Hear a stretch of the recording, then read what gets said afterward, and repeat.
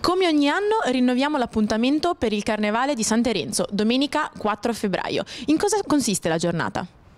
La giornata si svolgerà dalle 14 alle 18 a San Terenzo, il lungomare verrà completamente pedonalizzato a favore di tantissime attività per i bambini.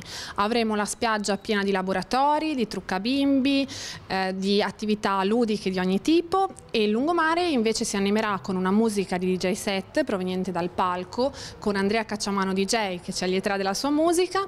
E si esibirà una parata chiamata Sogno Barocco del teatro Scalzo di Genova. Una giornata completamente gratuita e all'insegno del divertimento, giusto? Assolutamente sì, avremo anche il concorso della mascherina più bella del Carnevale di San Terenzo e poco prima della premiazione verranno lanciati in aria dai bambini dei palloncini in ricordo di quella che è definita la regina del Carnevale di San Terenzo, Carla Gallerini. Com'è possibile raggiungere la località?